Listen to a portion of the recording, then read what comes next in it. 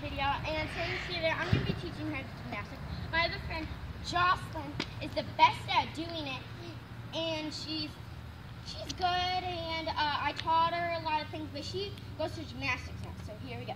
So first we're just going to start out with the basic cartwheel. You need to point your toes up in the air when you do it, and then lunge like this. Then you can do the other side, lunge, and then all you need to do you can, now we're going to be doing a round off. And sometimes I like to go like this when I'm done. So like, because gymnastics do that, I don't know why, because I was in gymnastics and I used to like salute. And so here, now a round off.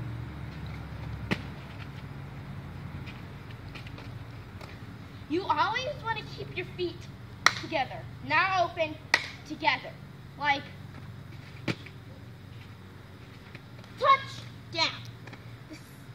And the other thing we're going to be doing is a headstand.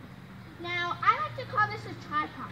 Let me just go up slowly and close, middle, that, up, that, that.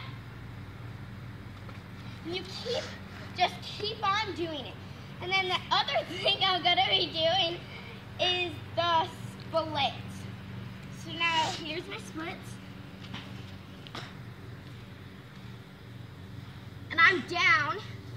And then my other ones aren't bad, but like I'm, yeah, I'm down.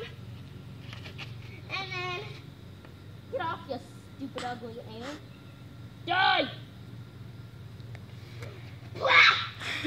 I killed it. Okay. Alright, what was the other thing I was gonna... Oh, and the other... Oh, and the other thing was a bridge. So I like to do it like this and go and then flip.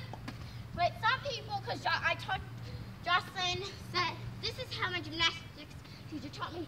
Put your legs out, not in because you can't push up really. Out, put your flat hands like that and push up. Then you can either do like that or like you can flip over like that. And so now Jocelyn's going to give you some tips.